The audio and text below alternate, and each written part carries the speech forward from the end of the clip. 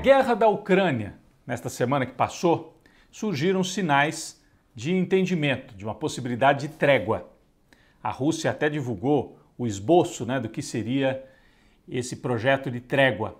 E o presidente da Ucrânia, que é super midiático, né, que está sendo transformado num herói pela mídia ocidental, mas que não tem nada de herói, o Zelensky, chegou a dizer o seguinte: não, a Ucrânia é, percebeu que talvez não possa mesmo fazer parte da OTAN, porque essa é uma exigência da Rússia, que a Ucrânia não integre a OTAN, a aliança militar que tem Estados Unidos, Alemanha, né, os países europeus. Então Zelensky disse isso, um sinal de que talvez ele quisesse a paz. Então eu vou aceitar, não preciso fazer parte da OTAN. Disse isso num dia.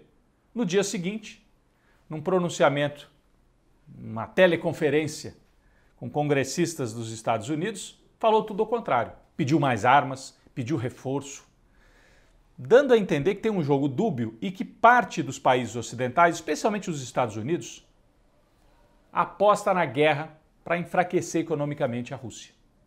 Então fica esse jogo de vai e volta e quem sofre é o povo ucraniano lá no campo de batalha e de outro lado o povo russo com todas as medidas de sanções econômicas contra a Rússia. Quem quer esticar a guerra, provavelmente, são os Estados Unidos, porque o Biden tem eleição e nada como um inimigo externo né, para ajudar quem está mal nas pesquisas. O Biden subiu o tom, chamou o Putin de criminoso de guerra, de, enfim, xingou, xingou. O Biden, que tem uma imagem meio fraca, tentou subir o tom para ver se se recupera internamente lá nos Estados Unidos. A Rússia avisou que não vai tolerar nenhum tipo de apoio internacional à Ucrânia. Mesmo que a OTAN, os países europeus e os Estados Unidos não mandem tropas, eles estão mandando arma, baterias antiaéreas, chegaram a cogitar o envio de aviões, estão mandando eh, militares para treinar mercenários ucranianos. A Rússia já avisou que não vai tolerar, e não é que ela avisou só de boca, ela agiu. Ela bombardeou, lembram? Na outra semana, bombardeou aquela base quase na fronteira com a Polônia, se você olhar o mapa, se você olhar o mapa da Ucrânia, quase na fronteira com a Polônia, a Rússia bombardeou uma base e lá era uma base de treinamento que tinha presença de militares estrangeiros para treinar militares ucranianos e mercenários, voluntários estrangeiros, incluindo brasileiros, hein? Tem uns malucos aí do Brasil que resolveram ir para a Ucrânia para lutar na guerra. Um deles, chamado Tiago Rossi, sobreviveu ao ataque a esta base.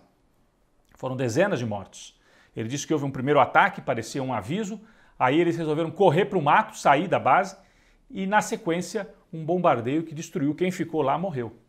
Esse mercenário brasileiro, que é instrutor de tiro, que é bolsonarista, geração videogame, acha que guerra é brincadeira, ele disse o seguinte: eu, não imaginava o que era a guerra e gravou um vídeo no ônibus tentando escapar para a Polônia. Bom, essa é a situação. No Brasil, a gente assiste a deterioração da economia, que tem muito a ver também com a guerra da Ucrânia, mas não só. Não só. O preço da gasolina, vamos lembrar, já vinha subindo ao longo de dois, três anos, porque o governo adota essa política de dolarização total dos combustíveis, o que é um absurdo. O Brasil tira petróleo e o custo aqui é em real, só que você dolariza o preço, cada vez que mexe o preço internacionalmente, você sobe a gasolina na bomba. E se tem uma guerra, o petróleo fica mais caro internacionalmente, e aí um absurdo de aumento de preço em alguns lugares, 10 reais o litro da gasolina, o povo não consegue tirar o carro da garagem, o sujeito que trabalha com a moto, que trabalha com Uber também não consegue trabalhar. Mas não é só isso não. A economia se deteriora porque a gasolina ficou mais cara, com isso a inflação de uma maneira geral sobe, não é só o preço da gasolina, impacta alimento, roupa, tudo, tudo. Gasolina, combustível, é custo de todos os outros preços, né? Porque transporte, transporte. É, então, inflação nas alturas. Juros. Para combater a inflação, o governo subiu os juros de novo. Subiu os juros de novo. E agora o juro real no Brasil só perde, sabe para quem? Para a Rússia. Depois da Rússia, Brasil. Juros em alta, inflação em alta e o PIB, que mede as riquezas de um país, em queda. a prévia do PIB no mês de janeiro de 2022, uma redução de quase 1%, ou seja, a economia andando para trás em ano eleitoral. Bom, o Bolsonaro vinha na esperança de se recuperar. Por quê? Desde o final do ano passado, começo desse ano, o pagamento do tal do Auxílio Brasil, que é importante, as pessoas sem emprego precisam de uma renda mínima para comer, para não morrer de fome. Então, pagamento de Auxílio Brasil, Auxílio Gás, e com isso o Bolsonaro vinha registrando alguma recuperação nas pesquisas feitas por telefone. E esta semana, pesquisa Quest, temos aqui pesquisa Quest, pesquisa presencial, importante, na espontânea, que é aquela em que não se apresenta o nome dos candidatos e pergunta assim: quem que você vai votar? O Bolsonaro subiu de 16% para 19%, ou seja, fora da margem de erro. Ele subiu, é um crescimento leve, mas já fora da margem de erro o Lula ainda está bem na frente. De qualquer maneira, uma pequena recuperação do Bolsonaro por causa desse alívio que vinha do ano passado do auxílio, né, o Auxílio Brasil.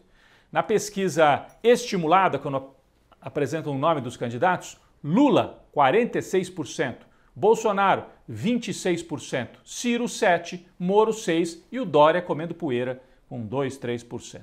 O Lula segue favorito, ganha de todo mundo no segundo turno e o Bolsonaro está avançando, está se recuperando um pouco entre evangélicos, entre os homens e no centro-oeste do Brasil, em que ele virou o jogo. No centro-oeste, com a influência do agronegócio, o Bolsonaro está já na frente do Lula.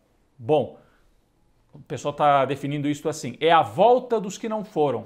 É o eleitor conservador tradicional do Bolsonaro, que votou nele em 2018 Muitos tinham ido embora porque estavam insatisfeitos com o Bolsonaro e agora alguns estão voltando. É a volta do eleitor conservador. Bom, a pesquisa mostra também que a economia é disparado o tema que mais preocupa os brasileiros. Quando se pergunta o que, que você. qual a sua preocupação? Né? Você vai votar baseado no quê? Na economia. Então, essa é uma má notícia para o Bolsonaro. Por quê? Nós acabamos de dizer, a economia está se deteriorando aumento dos combustíveis, inflação, juros em alta, o desemprego também muito alto. De qualquer maneira, Lula, na oposição, percebe que é preciso começar a campanha. O ex-presidente Lula perdeu muito tempo, entre aspas, com esses acordos né, de bastidor, tentar atrair outros partidos. O Lula marcou para 9 de abril o lançamento da sua pré-campanha e deve ter mesmo Geraldo Alckmin, um ex-adversário, ex-PSDB, como seu vice. É Geraldo Alckmin, que aliás percebeu como é duro deixar de ser PSDB, porque enquanto era PSDB nunca mexeram com ele, nunca teve denúncia, a imprensa protegia, polícia, Ministério Público. Agora bastou ele conversar com Lula para talvez ser o vice, botar a Polícia Federal atrás do Alckmin. Né? Um caso de 2010, ressuscitaram, fizeram, né? Ressuscitaram um caso de 12 anos atrás para ver se atinge o Geraldo Alckmin. Depois a gente foi saber que quando surgiram as manchetes Alckmin alvo de uma delação. A única coisa que tem é uma delação de um sujeito que está investigado e falou: não, o governador também está envolvido, o ex-governador de São Paulo. Bom, o caso já tinha sido arquivado na área criminal, é, mas segue ainda na área, na área civil. De qualquer maneira, o Alckmin sente como é complicado deixar de ser tucano. A semana terminou com uma outra pesquisa aí só do estado de São Paulo, só do estado de São Paulo, onde o PT sempre tem dificuldades. E dessa vez, pesquisa Quest também, olha os números. Lula ganha até em São Paulo.